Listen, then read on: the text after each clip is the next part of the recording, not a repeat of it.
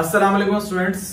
Rule number one जो है, वो हमने परमोटेशन का लास्ट क्लास में पढ़ लिया था कि परमोटेशन क्या होती है डेफिनेशन थी डिफरेंट बातें थी, मैंने आप लोगों को बताई थी।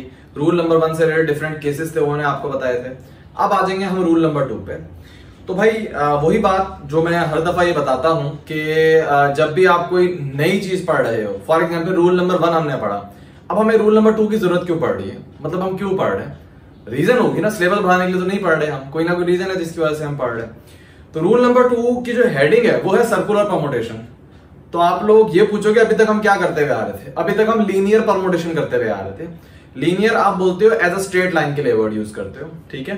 अभी जो आप अरेंज करते थे for example A B C D को आप अरेंज कर रहे थे तो एक स्ट्रेट लाइन में अरेंज करते थे ना? सर्कुलर पैटर्न में तो अरेंज नहीं करते थे। इसी तरीके से अगर आप डिजिट्स को अरेंज करते थे तो एक स्ट्रेट लाइन में आप अरेंज करते थे। तो इसको हम कहते थे लीनियर परमोटेशन अब जो हम पढ़ेंगे वो सर्कुलर परमोटेशन है। अब दूसरा सवाल इस जहन में आता है कि इनमें फ़र्क क्यों है? फ़र्क इस वजह से है कि जो लीनियर परमोटेशन होती है, उसमें आपका पर्टिकुलर स्टार्ट होता था, एक एंड होता था।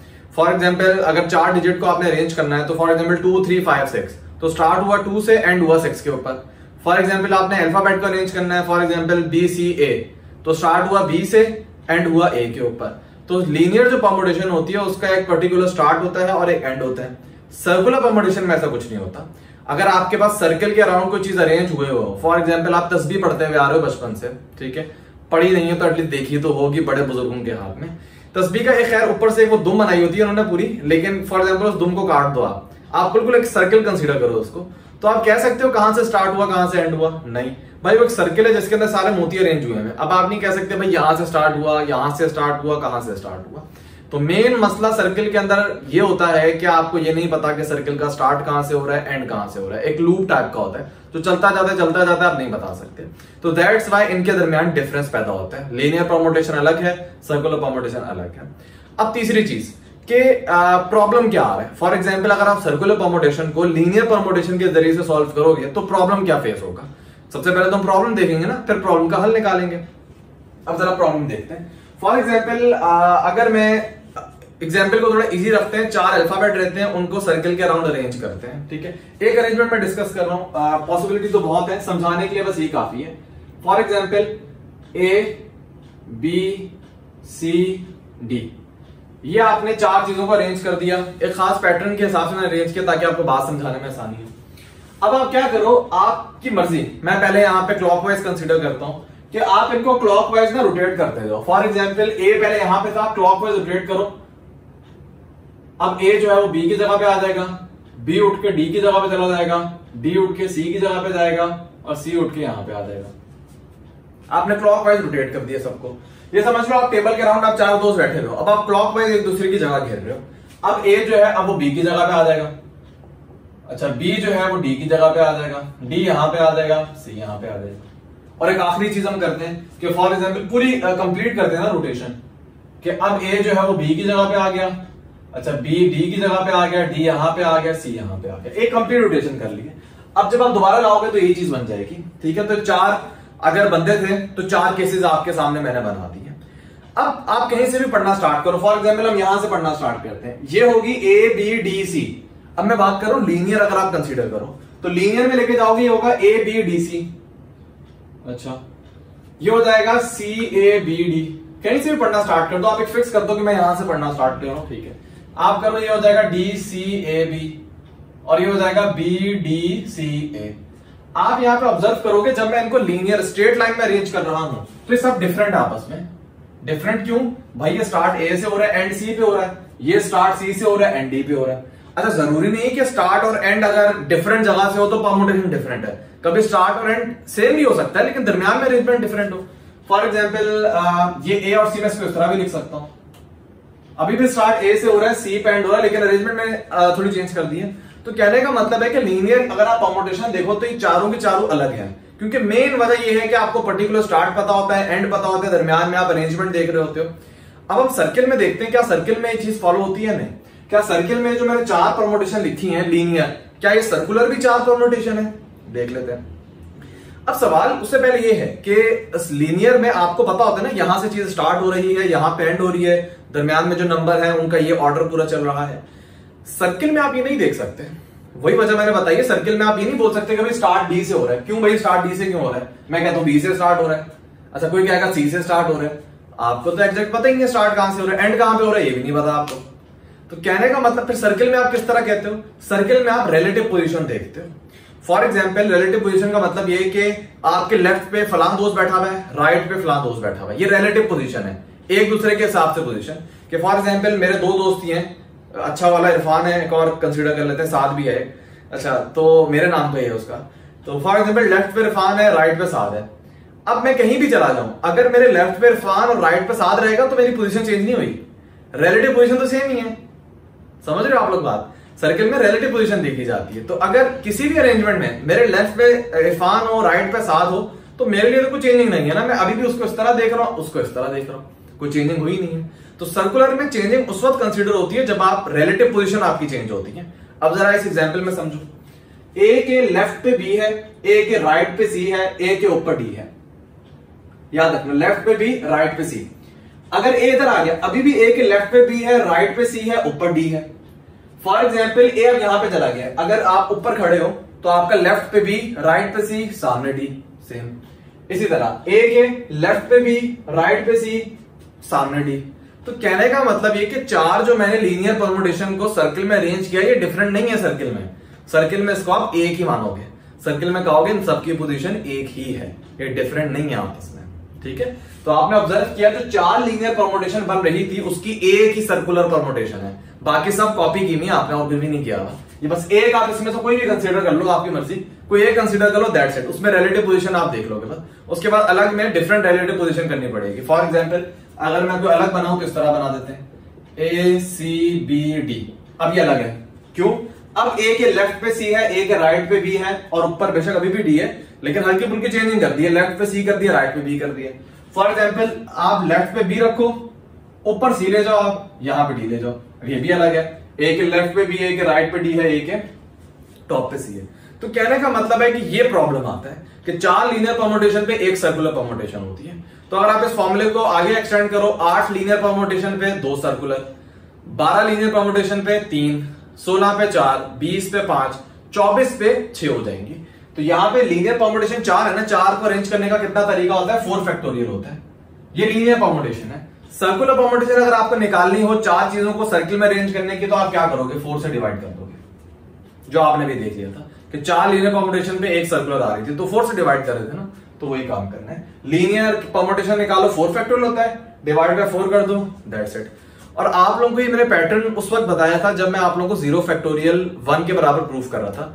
मैं कह रहा था, अगर फोर फैक्टोरियल को फोर से डिवाइड करोगे तो थ्री फैक्टोरियल आ जाएगा। जस्ट लाइक अगर आप थ्री फैक्टोरियल को थ्री से डिवाइड करते हो टू फैक्टोरियल आ जाता है। टू फैक्टोरियल को टू से डिवाइड करते हो वन फैक्टोरियल आता है। तो उसी तरह मैंने लिखा कि फोर फैक्टोरियल को अगर मैं फोर में डिवाइड करूँगा तो आंसर क्या आएगा? थ्री फैक्टोरियल तो यहाँ पे आपने ऑब्ज़र्व किया, चार चीज़ों को अगर आपने लीनियरली अरेंज करना है तो फोर फैक्टोरियल चार चीज़ों को आपने सर्कुलर पैटर्न में अरेंज करना है तो थ्री फैक्टोरियल मतलब एक कम फैक्टोरियल है। तो क्या ये बाकी चीज़ों पे भी वैलिड है? हम एक और एग्जांपल ले लेते हैं। ताकि फॉर्मूला हम जो बना रहे हैं हम तसली कर लेंगे यार, हमने फॉर्मूला सही बनाया, बिल्कुल। तो कंसिडर करते हैं समझने के लिए फॉर एग्ज़ाम्पल हम तीन ले लेते हैं ए बी सी अगेन ए को यहाँ पे ले आओ बी को यहाँ पे ले आओ सी को यहाँ पे ले आओ। अच्छा अगेन ए को यहाँ पे ले आओ बी को यहाँ पे ले आओ सी को यहाँ पे ले जाओ। ये तीन अच्छा लीनियर कॉम्बिनेशन फॉर एग्ज़ाम्पल यहाँ से मैं पढ़ना स्टार्ट करता हूँ हो जाएगा ए बी सी ये हो जाएगा सी ए बी ये हो जाएगा बी सी ए अब लीनियर कॉम्बिनेशन तो तीनों डिफरेंट है, लेकिन क्या सर्कुलर कॉम्बिनेशन भी तीनों डिफरेंट है? नहीं सेम ही है। ए के लेफ़्ट पे भी ए के राइट पे सी ए के लेफ़्ट पे भी ए के राइट पे सी ए के लेफ़्ट पे भी ए के राइट पे सी तीनों सेम ही है। तो उसका मतलब लीनियर परमोटेशन तीन है, लेकिन सर्कुलर परमोटेशन एक है। तो यहाँ पे आप किससे डिवाइड कर रहे हो? थ्री से डिवाइड कर रहे हो। छह लीनियर होंगी, दो सर्कुलर हो जाएँगी। ठीक है?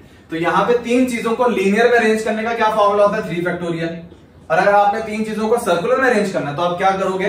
थ्री से डिवाइड कर दोगे। भाई, तीन लीनियर परमोटेशन थी, लेकिन हकीकत में एक ही सर्कुलर थी। तो जब इसको डिवाइड करोगे तो आंसर क्या आएगा? टू फैक्टोरियल तो यहाँ पे अगेन आप ऑब्ज़र्व करोगे कि लीनियर को लीनियर में अरेंज करने का थ्री फैक्टोरियल सर्कुलर में अरेंज करने का टू फैक्टोरियल तो यहाँ पे आप ये कंफर्म बात कह दोगे कि अगर आपने सर्कुलर में अरेंज करना है तो इसका फॉर्मूला क्या होगा? जो लीनियर का फॉर्मूला होता है, उससे वन माइनस कर दो आप।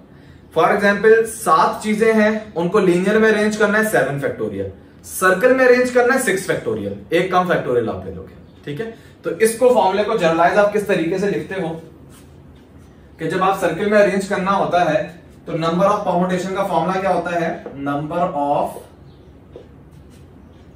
परमोटेशन का फॉर्मूला हो जाता है बच्चों एन माइनस वन फैक्टोरियल ये फॉर्मूला होता है। एक कम फैक्टोरियल लीनियर में सेवन तो सर्कुलर में सिक्स लीनियर में टेन सर्कुलर में नाइन ये फॉर्मूला होता है, ठीक है?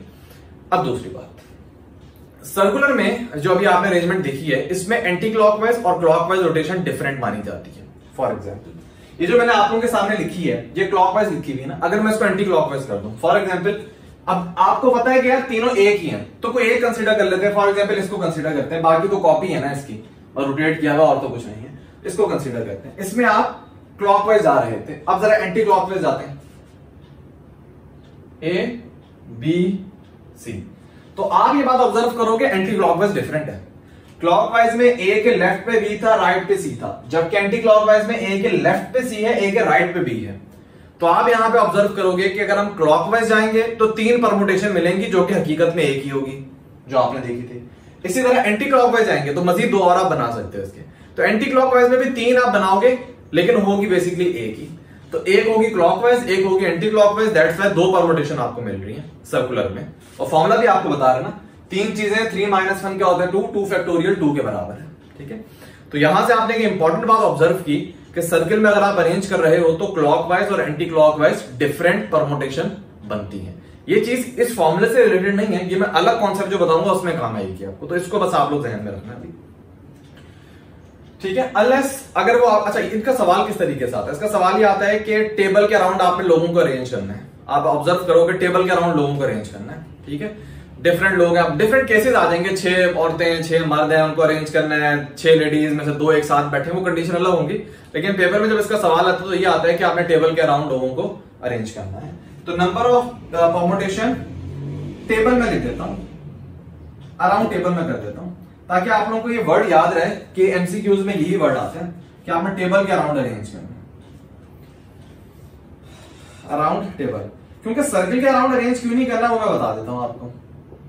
क्योंकि सर्किल एक जनरल वर्ड है। टेबल भी एक सर्किल के सेंस में यूज़ होगा और जो मैंने सबसे पहले तस्बीह की एग्ज़ाम्पल दी थी, वो भी सर्किल के सेंस में इस्तेमाल होगा। लेकिन दोनों में बहुत बड़ा फ़र्क है। फॉर्मूला में बहुत बड़ा फ़र्क है। तो मैं आप लोगों को बताऊँगा। बताने जा रहा हूँ सर्किल तो दोनों ही है। टेबल भी एक सर्कुलर आपने कंसीडर कर लिया। और जो आपने तस्वीर डिस्कस की है, वो भी क्या है? सर्किल ही है। मेरे जहन में आता है सर्किल ना हो रेक्टेंगल हो तो एकदम से मेरे जहन में कि रेक्टेंगल के अराउंड अगर आपने अरेंज करना है तो फॉर्मूला वही होगा। फॉर्मूले में कोई फ़र्क नहीं पड़ेगा ना। बात है कि स्टार्ट एंड नहीं पता ना। रेक्टेंगल में भी क्या स्टार्ट है, क्या एंड है? आप किसी भी वर्टेक्स को नहीं बोल सकते यहाँ से स्टार्ट हो रहा है, यहाँ से एंड हो सकता है। तो अगर टेबल आपके मेरे जहन में आता है, किसी ने कमेंट कर दिया कि रेक्टेंगुलर टेबल हुआ सर फिर क्या करेंगे? तो वो मेरे जहन में आ रहा है उसमें भी फॉर्मुला सेम ही रहेगा, क्योंकि टेबल रेक्टेंगुलर हो स्क्वायर हो या सर्कुलर हो, आपको स्टार्ट एंड नहीं पता होता जैसे स्ट्रेट लाइन का होता है। जैसे स्ट्रेट लाइन ये है, मुझे पता है ये इसका स्टार्ट है, ये इसका एंड है। या अगर आप किसी और के रिस्पेक्ट से बात करो, ये स्टार्ट ये एंड है। कोई एक फिक्स करोगे ना आप। तो लेकिन रेक्टेंगल में तो ऐसा नहीं हो सकता। रेक्टेंगल के फॉर एग्ज़ाम्पल चार वर्टेक्स हैं। तो चारों वर्टेक्स में से किस से स्टार्ट करोगे? तो अगेन वही कॉन्सेप्ट होगा उसके अंदर भी। अच्छा अब यहाँ पे जो फॉर्मूला है ना एन माइनस वन फैक्टोरियल इसको डिफरेंट अंदाज में भी अप्रोच किया जाता है। एक तो मैंने आपको ये डिवाइड करके बता दिया था ना कि four factorial divide by four three factorial divide by three इसको एक और अंदाज में बताया जाता है। इसको एक और अंदाज में इस तरीके से बताया जाता है कि सर्कुलर को लीनियर में कन्वर्ट करने की हम कोशिश करते हैं। हम क्या करते हैं? हम ये कहते हैं कि यार सर्कुलर में आप एक क्या करो? सर्कुलर को अगर लीनियर में आपने कन्वर्ट करना है आप एक काम करो कि आप किसी एक को फिक्स कर दो।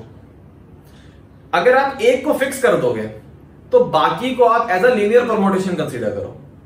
फॉर एग्ज़ाम्पल मैं इस वाली एग्ज़ाम्पल की बात करता हूँ।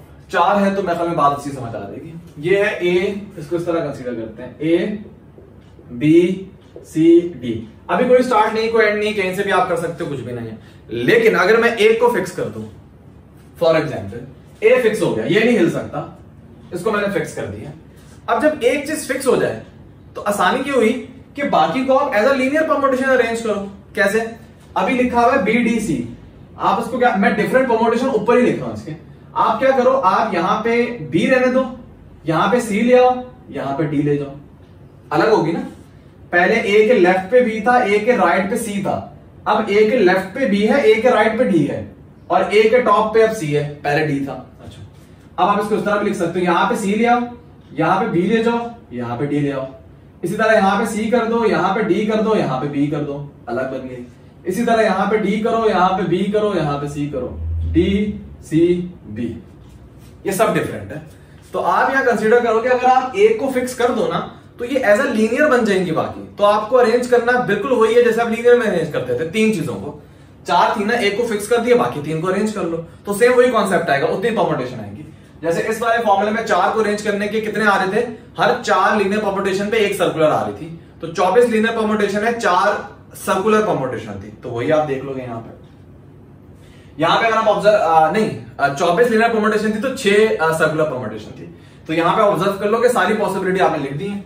आपने ए को फिक्स किया है तो एक परमोटेशन क्या है? बी डी सी लेफ़्ट पे बी राइट पे सी टॉप पे डी फिर दूसरी परमोटेशन बी सी डी फिर सी बी डी फिर होगा सी डी और डी इस तरीके से छह जो है वो मैंने आप लोगों के सामने लिख दी। अब जो नेक्स्ट रूल है ना, उस पर आ जाते हैं। और नेक्स्ट रूल तो मैं नहीं बोलूँगा इसी का केस हम डिस्कस कर लेते हैं।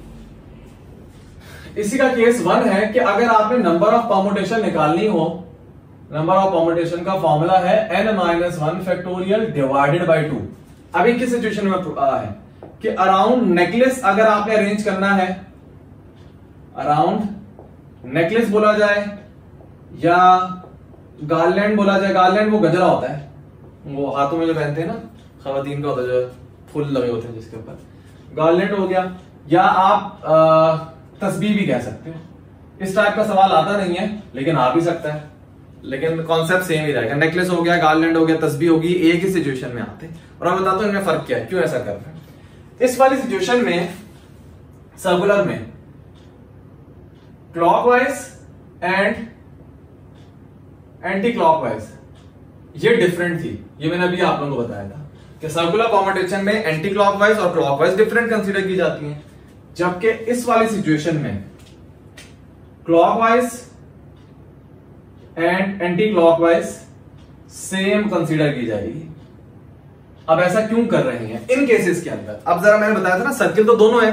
सर्किल तो टेबल भी है सर्किल तो नेकलेस भी है फ़र्क क्यों आ रहा है इनके अंदर? फ़र्क इसलिए आ रहा है कि अगर आप टेबल को देखते हो तो टेबल को आप उल्टा नहीं कर सकते। सिंपल एग्ज़ाम्पल मैं आपको बताता हूँ कि अगर आपने लोगों को अरेंज करना है तो आप सामने से अरेंज कर सकते हो। ये नहीं कि टेबल को नीचे मैं इसको पहले दूसरे वाले केस को समझाता हूँ फिर टेबल पे लाता हूँ। वरना भी आपको बात समझ नहीं आएगी। पहले नेकलेस का क्या समझो। नेकलेस में होता क्या है? फॉर एग्ज़ाम्पल आपके पास एक नेकलेस है। आ, थोड़ी सी जगह छोड़ देते हैं ना। गले में पहनना तो फ़ायदा फॉर एग्ज़ाम्पल आपने अरेंज किया, इसको ए करते हैं, ये बी हो गया, ये सी हो गया फॉर एग्ज़ाम्पल तीन फॉर एग्ज़ाम्पल आपने मोती डाल लिया नेकलेस के अंदर। ये समझ लो, जिसको इंग्लिश में आप बीड्स कहते हो B E A D S आपने नेकलेस के राउंड में अरेंज करना है। तो अब फ़र्क क्यों है इसके अंदर? देखो नेकलेस तस्बी गार्लैंड इनमें प्रॉब्लम ये आती है कि आप फॉर एग्ज़ाम्पल नेकलेस अगर मेरे इस सामने इस तरह खड़ा है। ये भी मैंने आप लोगों के मेरे पास नेकलेस है नहीं। बेगम हमारी है नहीं, हमारे पास वरना उनका नेकलेस उतार लेते। तो नेकलेस जो है ना फॉर एग्ज़ाम्पल आपने इस तरह पकड़ा हुआ है, तस्वीर भी नहीं है माशाला हाथ पे गिनते हैं हम, सुन्नत पे अमल करते हैं। कुछ भी नहीं है सर्कुलर चीज़ हमारे पास। खैर, इसको वैसे ही हम समझ लेते हैं कि अगर आपके पास एक नेकलेस है, ठीक है? नेकलेस को दो तरफ़ से देखा जाता है, इस चीज़ को ध्यान में रखना। अभी तक ये समझे नेकलेस जो है, ये मैंने उठाया है, ये साइड आपकी तरफ़ है। तो अभी आपको क्या नज़र आ रहा होगा? ये आप लोग इस तरह देख रहे हो इसको। आपको नज़र ये आ रहा है कि ए के राइट पे भी है ए के लेफ़्ट पे भी है। आप लोग को ये नज़र आ रहा होगा। कंसीडर कर लो आप इसके पीछे चले जाओ। मुझे क्या नज़र आ रहा होगा? फॉर एग्ज़ाम्पल अभी यहाँ पे ए है, यहाँ पे सी है और यहाँ पे बी है। आप लोगों के रेस्पेक्ट से अगर मैं बात फॉर एग्ज़ाम्पल इसको सिचुएशन में थोड़ा इजी करते हैं, ताकि बात समझ आए ना, इसको इस तरह समझते हैं। ए को यहाँ पे ले आते हैं बी को यहाँ पे लाते हैं, बात ज़्यादा समझ आ जाएगी। आप लोगों के लेवल पे ए यहाँ पे है बी यहाँ पे है और सी यहाँ पे। आप लोगों के रिस्पेक्ट से अगर हम बात करें तो ए के लेफ़्ट पे बी है ए के राइट पे सी है, आप लोगों के लेवल से। लेकिन अगर मैं इस नेकलेस को देखूँगा तो याद रखना यहाँ पे बी है, यहाँ पे सी है। तो अब ए जो नीचे है, उसके लेफ़्ट पे सी है, उसके राइट पे बी है। मुझे इस तरह नज़र आ रहा है। इस चीज़ को आप अगर पीछे से देखोगे ना तो आपको पीछे से बिल्कुल देखो। ए के लेफ़्ट पे आपको सी नज़र आएगा ए के राइट पे भी नज़र आएगा। जबकि आगे से आप देख रहे हो ए के लेफ़्ट पे बी है राइट पे सी है। पहली सिचुएशन में ए के लेफ़्ट पे सी था राइट पे बी था। तो होता यह है कि नेकलेस में आप दोनों तरफ़, एक नेकलेस आपने इस तरह पकड़ा, आप उसको टर्न कर दो। तो सेम बन फॉर एग्ज़ाम्पल नेकलेस को मैं सामने से इस तरह पकड़ा है। अगर मैं इसको टर्न कर दूँगा नेकलेस को तो अब ये सिचुएशन बन जाएगी। लेकिन टेबल को तो टर्न नहीं कर सकते ना ये फ़र्क है, जो मैंने बताया था। टेबल अगर आपने लोगों को अरेंज करना है तो टेबल को एक ही तरफ़ से आप देखते हो। टेबल के नीचे से नहीं आप देख सकते, या टेबल को टर्न नहीं कर सकते हो। लोग ही उल्टे हो जाएँगे पूरे। ऐसा नहीं हो सकता। लेकिन नेकलेस में होता है। नेकलेस में अगर आप इस तरह देखो, या इस नेकलेस को यूँ कर दो, बिल्कुल टर्न कर दो इसको। तो ये दोनों एक ही चीज़ तो है, क्या आपने कोई अरेंजमेंट चेंज की है? क्या ए बी सी जो आपने मोती डाले हुए थे, उनकी पोजीशन यहाँ पे कोई चेंज की है? नहीं। आपने तो नेकलेस को टर्न किया बस। इसका मतलब आपने कोई चेंजिंग नहीं की अरेंजमेंट वही रही है। लेकिन यहाँ पे क्लॉकवाइज और एंटी क्लॉकवाइज डिफरेंट नहीं कंसिडर होंगे। ये वजह है। टेबल में आप टर्न नहीं कर सकते, या टेबल को नीचे से नहीं आप देख सकते, आप ऊपर से ही देखोगे। तो दैट्स वाई आपको क्लॉकवाइज और एंटी क्लॉकवाइज डिफरेंट लगेंगे। जैसे आप टेबल को ऊपर से देखो, ये क्लॉकवाइज हो जाएगी, या एंटी क्लॉकवाइज होगी डिफरेंट होगी। लेकिन नेकलेस में ये नहीं है। या आपने सामने से देखा, अगर आप पीछे से देखोगे तो आपको ये अरेंजमेंट नज़र आ रही होगी। या दूसरी लैंग्वेज में, अगर आपको नेकलेस इस तरह नज़र आ रही है आपने अरेंज किया, ये कंसीडर कर लो, मोती ए मोती बी मोती सी अगर आप इसको टर्न करोगे तो अरेंजमेंट आपने कोई चेंजिंग नहीं की इसके अंदर। कुछ आपने चेंज नहीं किया। लेकिन आप ऑब्ज़र्व करो, वही चीज़ अब एंटी क्लॉकवाइज शो हो रही है आपको। तो दैट्स वाई जो ये वाला केस होता है, इसमें एंटी क्लॉकवाइज और क्लॉकवाइज में कोई डिफरेंस नहीं होता। तो आप क्या करोगे? आप टू से डिवाइड करोगे। क्यों? क्योंकि आपने बात ऑब्ज़र्व की थी कि अगर छह आपके पास सर्कुलर कॉम्बिनेशन आ रही है, चार के अंदर तो इसमें होगा क्या कि एक सर्कुलर सॉरी एक क्लॉकवाइज एक एंटी क्लॉकवाइज जैसे इसमें आपने देखा था, एक क्लॉकवाइज थी, एक एंटी क्लॉकवाइज थी। इसी तरीके से, अगर चार में छह आ रही थी ना सर्कुलर कॉम्बिनेशन तो दो क्या होंगी? एक क्लॉक एक एंटी क्लॉक फिर जो बाकी दो हैं, एक क्लॉक एक एंटी क्लॉक फिर बाकी दो जो है, वो एक क्लॉक होगी, एक एंटी क्लॉक होगी। ठीक है? तो कहने का मतलब ये कि जो इस वाले फॉर्मूले में एक क्लॉक आती थी, एक एंटी क्लॉक आती थी। मतलब दो आती थी सर्कुलर कॉम्बिनेशन जबकि इस सिचुएशन में वो जो दो है, वो एक ही मानी जाएँगी। इसी तरह जो चार है, वो दो मानी जाएँगी। मतलब टू से डिवाइड आप यहाँ पे कर रहे हो। तो दैट्स वाई जो सर्कुलर कॉम्बिनेशन का फॉर्मूला था, उसको आप बस टू से डिवाइड कर दो। ये वाला केस बन जाएगा। ठीक है? तो इस सर्कुलर कॉम्बिनेशन का एक केस था। वो मैंने उसके साथ ही आप लोगों करवा दिए। सवाल किस तरीके से आता है कि आपने बीड्स को अरेंज करना है? नेकलेस में बीड्स आपने अरेंज करने हैं। इस टाइप का सवाल आएगा तो आप N minus one factorial divide by two कर दोगे। और अगर आए कि अराउंड टेबल आपने लोगों को अरेंज करना है यही सवाल आता है। और डिफरेंट सिचुएशन के साथ दे देते हैं लेकिन सवाल यही होता है। तो उसके लिए फॉर्मुला कौन सा यूज़ करोगे? एन माइनस वन फैक्टोरियल तो बच्चों परमोटेशन के सारे केसेस मैंने आप लोगों से डिस्कस कर दिए अब हम इसकी थ्योरी पे आएँगे। एक चीज़ मैं पहले से बता दूँ परमोटेशन का एक और रूल भी बताया जाता है। अब जरा उस रूल को देखते हैं कि वो रूल आ, मैं क्यों नहीं बता रहा आप लोगों को। परमोटेशन का एक बहुत ही मशहूर रूल है जो टीचर्स काफ़ी बताते हैं ये वाला। आपने देखा होगा काफ़ी। जिसने परमोटेशन पहले से सीखी हुई किसी और से तो उसने शायद ये बताया हो N to the power R अब ये बताया कब जाता है? इसको बोलते हैं परमोटेशन विद रिपीटेशन जबकि मैंने शुरू में कहा था परमोटेशन विद रिपीटेशन कोई केस नहीं है। रिपीटेशन परमोटेशन में हो ही नहीं सकती। एक, एक बहुत ही आइडियल केस दिया हुआ है। परमोटेशन एक अरेंजमेंट है चीज़ों की। तो चीज़ों में रिपीटेशन नहीं हो सकती। जैसे वो आप करते थे कि अगर दस डिजिट है आपके पास और आपने फोर डिजिट का पेन बनाना है। तो मैंने कहा था, यार कंसीडर करो, आपके पास दस डिजिट सामने आपके पड़े हुए तो आप कोई भी डिजिट अगर यहाँ पे पुट करोगे तो वो डिजिट दोबारा कैसे आएगा? फॉर एग्ज़ाम्पल आपके पास एक वन एक बॉक्स में वन लिखा हुआ है। आप उस पहली डिजिट पहली प्लेस पे ले आते हो। तो वो तो आपने इस्तेमाल कर लिया। अब दोबारा वन को कहाँ से लाओगे? लेकिन अभी आइडियल केस है। हम कहते हैं, अगर वन एक दफ़ा यूज़ कर लिया वन को दोबारा यूज़ कर सकते हो। आइडियल केस कंसीडर किया हम ठीक है? तो ये मैंने तभी प्रोडक्ट प्रिंसिपल से करवाया हुआ था। मैंने आज तक रिपीटेशन का कोई भी सवाल को परमोटेशन से नहीं मैं करवाऊँगा। जितने डिजिट वाले सवाल थे, अभी जितने फॉर एग्ज़ाम्पल अल्फ़ाबेट वाले तो नहीं होते डिजिट वाले ज़्यादा सवाल होते हैं। और किस्म के सवाल होते वही बताता हूँ मैं। तो हमेशा मैंने प्रोडक्ट प्रिंसिपल से करवाया, क्योंकि परमोटेशन रिपीटेशन कोई है ही नहीं। अब सवाल है कि कोई जो टीचर बताते हैं N to the power R ये परमोटेशन विद रिपीटेशन का फॉर्मूला है। अब मसला क्या होता है? मुझे फॉर्मूले से मसला नहीं है फॉर्मूला यूज़ कर सकते हो आप। मसला है कि जब आप बोलते हैं ना परमोटेशन विद रिपीटेशन का फॉर्मूला तो अब स्टूडेंट क्या समझते हैं? ये एन और आर स्टूडेंट वही समझते हैं जो परमोटेशन का होता है, कि when you have N object और आपने उसमें से आर चूज़ किए। और डेफिनेटली ये बच्चों को पता है, ये बात शायद मैंने अपने परमोटेशन वाले लास्ट केस में नहीं बताई थी, कि एन जो है वो हमेशा ग्रेटर होता है आर से। या तो एन आर के बराबर होगा या एन आर से ग्रेटर होगा, क्योंकि एन होता था टोटल ऑब्जेक्ट जिसमें से आप आर चूज़ करते थे। या तो आप सब चूज़ कर लोगे तो आर बराबर हो जाएगा एन के या आप उसमें से कुछ चूज़ करोगे तो आर हमेशा लेस ही रहेगा एन से, या एक सिचुएशन में बराबर हो जाएगा। जबकि इस वाले फॉर्मूले में आप कितनी दफ़ा देखोगे कि एन छोटा होगा आर से आर बड़ा होगा। ये मैं भी आपको एग्ज़ाम्पल दूँगा। तो अगर इसको परमोटेशन आप बोलोगे ना स्टूडेंट के जहन में बात, और वो फॉर्मूला गलत कर देंगे। मैंने ऐसे भी टीचर्स को देखा जिन्होंने सवाल ही गलत करवाया है। मैं बताऊँगा कौन सवाल में मिस्टेक है। काफ़ी सवाल है जो इसमें मिस्टेक हो जाती है वो, क्योंकि इसको अगर आप कंपेयर करोगे एन आर से प्रमोटेशन के तो मसला हो जाएगा यहाँ पे।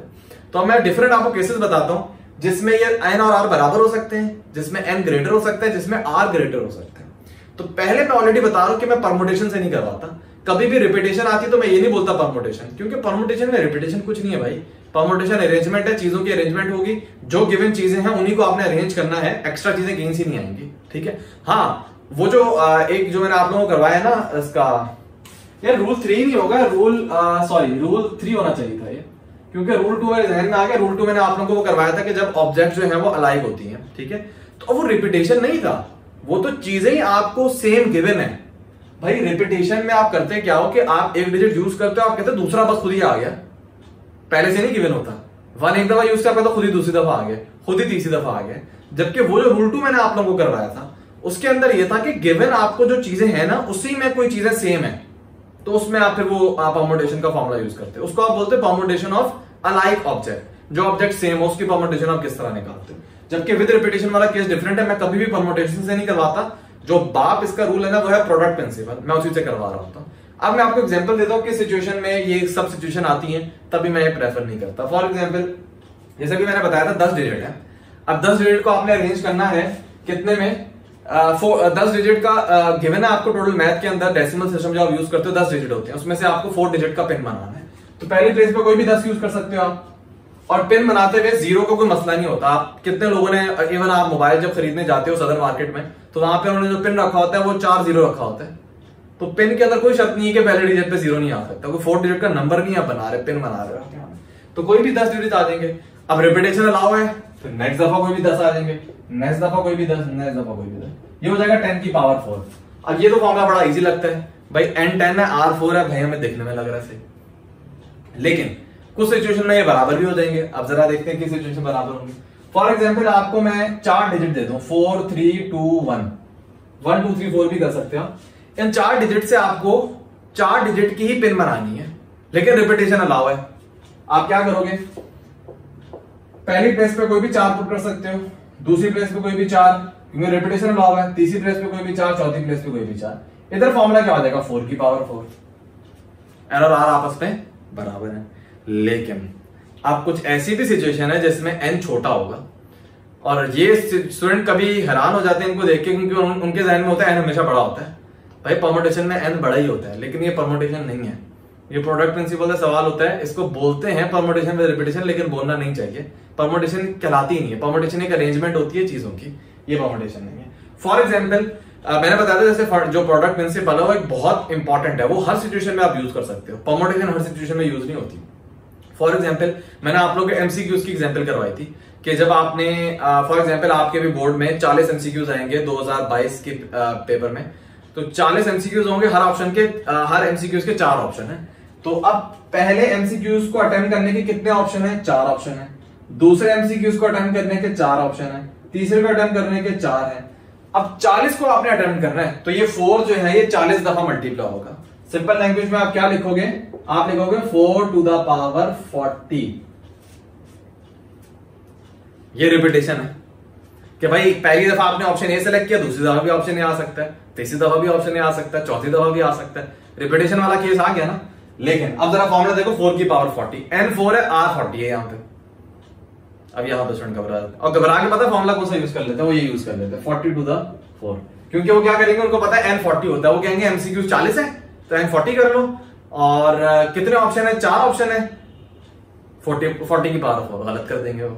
अब ये मैंने बताया फॉर्मुला बड़ा खतरनाक है, अगर आप इसको परमोटेशन में कंसीडर करोगे। इसी तरीके से ये मैंने एक सिचुएशन आपको बताई है। लाइक ये जो नंबर आया ना फोर की पावर फोर्टी इसका मतलब है इतने तरीके से आप पेपर अटेंड कर सकते हो।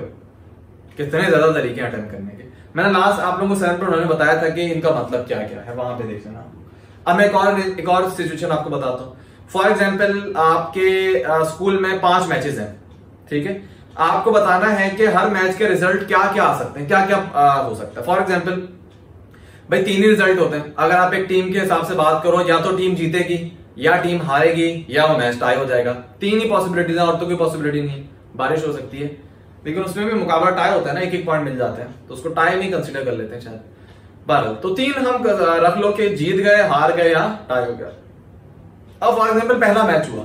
पहले मैच के कितने आंसर आ सकते हैं? मतलब पहले मैच के कितने तरीके के रिज़ल्ट आ सकते हैं? तीन रिज़ल्ट आ सकते हैं भाई। तीन ऑप्शन है ना पहले मैच में। भैया तो जीत जाएँगे या हार जाएँगे टाई हो जाएगा, तीन ऑप्शन है दूसरे मैच में कितने ऑप्शन है? तीन ऑप्शन है। तीसरे में तीन चौथे में तीन पांचवे में तीन। प्रोडक्ट प्रिंसिपल है सब एक साथ। आ, आपने बतानी है चीज़ें? ये हो जाएगा थ्री की पावर फाइव अगेन आप देखो एन छोटा है आर बड़ा है। क्योंकि ये वो एन आर है ही नहीं परमोटेशन वाला। वो तो एन होता था भाई इतने ऑब्जेक्ट है इन्हीं में से आपने चूज़ करने ये वाली सिचुएशन ही नहीं है। तो ये परमोटेशन है ही नहीं। ये तो प्रोडक्ट प्रिंसिपल से अपन सवाल को करते हैं। अच्छा वैसे अगर आपके पास कोई चीज़ आ जाए कि ए बी सी गिवन है एक पर्टिकुलर सिचुएशन हो जिसमें रिपीटेशन हो उनको आपने अरेंज करना है वो अलग बात है जैसे परमोटेशन ऑफ़ अलाइक ऑब्जेक्ट लेकिन इन सिचुएशन में आप नहीं बोलोगे उनको. नंबर ऑफ़ वेज बोलोगे और अब ये प्रोडक्ट प्रिंसिपल से निकाल लोगे. और आखिरी एग्ज़ाम्पल मैं आपको देता हूँ ये बड़ी मशहूर एग्ज़ाम्पल है. आ, सवाल भी है ई कैट में काफ़ी आता है कि आपके पास छह फिंगर्स हैं. सॉरी छह फिंगर्स कह रहा हूँ. आपके पास छह रिंग्स है. और इसमें होता है कि छह डिफरेंट रिंग होनी चाहिए. छह डिफरेंट रिंग है आपने चार उंगलियों में अरेंज करनी है. सही है समझ लो पहनानी है आपने। तो कितनी पॉसिबिलिटीज है यहाँ पे? फॉर एग्ज़ाम्पल पहली अब देखो यहाँ पे स्टूडेंट गलती ही करते हैं कि वो ये जहन में समझते हैं कि छह रिंग्स हैं आपके पास, ठीक है? और फिंगर्स कितनी है? भाई चार फिंगर्स होती हैं। अनलेस किसी के पास पाँच ना वो मुझे नहीं पता, लेकिन नॉर्मली चार ही होती है अंगूठा होता है, अंगूठे में तो नहीं पहनेंगे, खैर। छह रिंग से चार फिंगर है। वो पता है सवाल कैसे सॉल्व करते हैं। वो ये करते हैं, भाई पहली रिंग में कोई भी छह आ सकते हैं। दूसरी रिंग में भी कोई भी छह आ सकती हैं। तीसरी में से भी कोई छह आ सकती है, चौथी में भी छह आ सकती हैं। और सवाल बताया कर देते हैं? सिक्स सिक्स सिक्स सिक्स ये हो जाएगा सिक्स की पावर फोर खुश भी कि एन बड़ा है आर छोटा हमने सवाल कर दिया, गलत बात है। आप इसको इस तरह समझो, आप परमोटेशन के जब सवाल सॉल्व करते हो ना, ये प्रोडक्ट प्रिंसिपल के तो आप ये देखते हो कि चॉइस किसके पास है। फॉर एग्ज़ाम्पल मैंने सवाल सेवन पॉइंट वन का करवाया था कि तीन गेस्ट हैं, छह रूम है। आप ये बोलोगे, यार, कि आपने उन तीनों गेस्ट को रूम के अंदर बैठाना है, कितने पॉसिबिलिटीज है? तो क्या चॉइस रूम के पास है? कि रूम सेलेक्ट करेगा किस गेस्ट को मैंने बिठाना है? नहीं। कि पहला रूम बोले कि यार मैं तीन गेस्ट को बिठा सकता हूँ। दूसरा रूम बोले, नहीं, मैं तीन को बिठा सकता तीन तीन तीन तीन थ्री की पावर सिक्स कर दो। ऐसा नहीं होगा भाई। आप ऑप्शन जो है वो गेस्ट के पास है। कि पहला गेस्ट के पास छह रूम है। दूसरे के पास पाँच रूम है। तीसरे के पास चार रूम है। क्या तरीका होता है? इसी तरह जो आप रिंग पहनाते हो ना तो ये रिंग की चॉइस है। मतलब पहना आप रहे होते हो, लेकिन बेसिकली रिंग की चॉइस चल रही होती है ना, कि रिंग किस उंगली में जाना चाहती है? रिंग के पास चार ऑप्शन है। किसी भी चार उंगली में जा सकती है। तो पहली रिंग के पास कितने ऑप्शन है? चार ऑप्शन है। और इस वाले केस में हम ये डिस्कस मतलब ये इंप्लाइड होता है इसके अंदर कि आप एक फिंगर में ज़्यादा रिंग पहन सकते हो, छह की छह भी पहन सकते हो। आइडियल केस हम डिस्कस करते हैं अनलेस वो रिस्ट्रिक्ट ना करते हैं हमें, ठीक है? तो पहली रिंग के पास चार ऑप्शन है, किसी भी चार में जा सकती है। अब दूसरी रिंग की बात करते हैं। दूसरी रिंग में तो किसी चार में जा सकती है ना? हमने ये तो रिस्ट्रिक्शन नहीं लगाई कि एक में एक ही पहननी है। तो उसका मतलब दूसरी रिंग के पास भी चार ऑप्शन है। तीसरी के पास भी चार, चौथी, पांचवी, छठी। इन सब के बाद चार चार ऑप्शन है तो उसका आंसर क्या होगा? फोर की पावर सिक्स किसी एक टीचर ने सिक्स की पावर फोर करवाया था। असल एक्चुअल आंसर क्या फोर की पावर सिक्स तो कंफ्यूजन ये होती है कि जब आप इसको परमोटेशन विद रिपीटेशन समझोगे ना तो ये कंफ्यूजन हो जाती है। एंड टू द आर करके। और आखिरी में एग्ज़ाम्पल दे दो। फॉर एग्जांपल आपके पास दो डिजिट है। वन टू और मैं आपको बोलता हूँ कि आपने फोर डिजिट के नंबर बनाने हैं यहाँ पे। आप ये बोलोगे, डिजिट मेरे पास दो हैं। सर बोल रहे हैं, फोर डिजिट के। अब इसको लोग परमोटेशन कह देते हैं। परमोटेशन कैसे होगी भाई? दो डिजिट है परमोटेशन अरेंजमेंट है। इन दो डिजिट को अरेंजमेंट को आप परमोटेशन बोलोगे ना, दो डिजिट का, दो डिजिट से चार नंबर कैसे बनाओगे? अगेन परमोटेशन नहीं है, ये प्रोडक्ट प्रिंसिपल से करोगे। ऑब्वियसली रिपीटेशन अलाउ होगी इसके अंदर। तो इसका किस तरह सॉल्व करोगे? दो, ये सवाल आपने कभी भी नहीं सुना होगा कहीं से भी। एग्ज़ाम्पल में किसी ने बताया नहीं होगा। क्योंकि इस एंगल से सोचा नहीं है। आ, दो डिजिट है चार का बनाओ जरा आप। पहली प्लेस पे कोई भी दो आ सकते हैं। फॉर एग्ज़ाम्पल वन आ गया। वन दोबारा भी तो आ सकते हैं ना। दूसरी प्लेस पे भी कोई भी दो तीसरी पे भी दो चौथी पे भी दो। कितने केस बन गए? टू की पावर फोर अगेन एन छोटा आर बड़ा है। सिक्सटीन नंबर आप बना सकते हो इनसे फोर डिजिट के। आप कहोगे कैसे? भाई बनाओ कोई मुश्किल बात तो नहीं है। सबसे पहले one one one four digit का नंबर बन गया। One one one two one one two one मतलब इसको अरेंज करो ना इसको, एक इस तरह अरेंज कर सकते हो, फिर आप वन टू वन वन इस तरह कर दो। फिर टू वन वन वन इस तरह कर दो। ठीक है, ये कितने? पाँच बन गए। फिर आप दो वन करो, दो टू करो। For example two two one one अब इसको किस तरह कर सकते हो? आप इसको लिख सकते हो टू वन टू वन आप इसको लिख सकते हो वन वन टू टू कोई और पॉसिबिलिटी है? हाँ टू वन वन टू इस तरह लिख सकते हो। इसी तरीके से फिर आप चार टू के साथ करो, फिर तीन टू के साथ करो। इस तरह करते करते आप सोलह बना सकते हैं यहाँ पे। तो अगेन प्रोडक्ट प्रिंसिपल बोलोगे आप, इसको परमोटेशन विद रिपीटेशन नहीं कहोगे। बोलने में बात आती है, लेकिन एक्चुअल जो चीज़ थी, वो मैंने आप लोगों को बता दी है। ठीक है, जो कॉन्सेप्ट था, वो मैंने आप लोगों का क्लियर कर दिया मैं देख लेता हूँ, अगर कोई टॉपिक मुझे पढ़ाना हो, और परमोटेशन के अंदर एग्जाम्पल्स मैंने आप लोगों को सारी बता दी हैं। डिटेल में जितना कॉन्सेप्ट था सब क्लियर कर दिया। अब इंशाल्लाह नेक्स्ट लेक्चर में हम 7.2 जो है, उसके रिमेनिंग क्वेश्चन कुछ तो कर लिए थे हमने डिजिट वाले। बाकी क्वेश्चन जो इनको सॉल्व करते हैं। इस लेक्चर में इतना ही। अल्लाह हाफिज। अच्छा एक चीज़ जो मुझे बतानी थी, ये जो N to the R power formula है ना इसको जो परमोटेशन में शामिल करते हैं ना, एक छोटी सी चीज़ रहेगी तो फिर वो अपनी स्टेटमेंट को थोड़ा चेंज कर ले। फॉर एग्ज़ाम्पल अगर आप इसको परमोटेशन में धक्के दे के डालना चाह रहे हो असूली तौर पर बताया परमोटेशन नहीं है, लेकिन आर्टली अगर आप बोल दो कि परमोटेशन विद रिपीटेशन का केस है तो फिर आप इसकी जो स्टेटमेंट है उसको चेंज करो। क्योंकि इसकी स्टेटमेंट में ही लिखा होता है कि permutation of N object taking R at a time with repetition और ये फॉर्मुला लिखा होता है। तो मैंने बताया चीज़ ही बहुत अजीब सी हो जाएगी। इसमें एन छोटा है आर बड़ा है तो कैसे पॉसिबल है? एन ऑब्जेक्ट है उसमें से आर आपने सेलेक्ट किए हैं आर ज़्यादा है एन कम है। तो इसकी स्टेटमेंट आप चेंज कर दो। स्टेटमेंट इसकी लिखो कि when you have N object and you choose them R times तो नंबर ऑफ़ परमुटेशन का फॉर्मूला है। आप ये लिख सकते हो ठीक है? uh, क्या मैंने बात बोली है कि when you have N objects and you choose them R times R choose नहीं की आर दफ़ा चूज़ किया आपने। फॉर एग्ज़ाम्पल जैसे आपके 40 एमसीक्यूज हैं ऑप्शन कितने चार ऑप्शन है। तो ऑप्शन तो चार ही है ना। सेलेक्ट कितनी दफ़ा करना है? चालीस दफ़ा करना है। तो ऑब्जेक्ट चार बेस चार बन गई। N to the R formula ना। एन मतलब चार है आपके। चूज़ आपको कितनी दफ़ा करना है? आपको चालीस दफ़ा चूज़ करना है। तो फोर की पावर फोर्टी इसी तरह, पाँच मैचेस हैं। हर मैच के रिज़ल्ट कितने आ सकते हैं? तीन ही आ सकते हैं ना। तो ऑब्जेक्ट कितने? तीन ऑब्जेक्ट हैं। जीतना, हारना टाई चूज़ कितनी दफ़ा आपने करना है? पाँच मैचेस हैं तो पाँच दफ़ा चूज़ करना है। तो थ्री की पावर फाइव तो अगर आपने इसको परमोटेशन के अंदर कंसिडर भी करना है तो फिर आप, ये मैं इसलिए बोल रहा हूँ क्योंकि परमोटेशन में कंसिडर किया जाता है। ठीक है? तो अगर आप कंसिडर करो तो उसकी स्टेटमेंट को चेंज कर दो फिर आप लिखोगे एन ऑब्जेक्ट है और आपने इसको आर दफ़ा चूज़ करना है।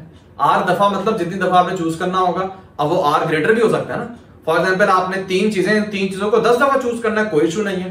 रेपिटेशन अलावा यहाँ पे दस दफ़ा चूज़ करना है, अब आर ग्रेटर हो सकता है। लेकिन आप ये भी लिख सकते हैं ना कि एन ऑब्जेक्ट है, उसमें से आर चूज़ किया आपने, और रेपिटेशन अलावा है। फिर अजीब चीज़ होगी वो, ठीक है?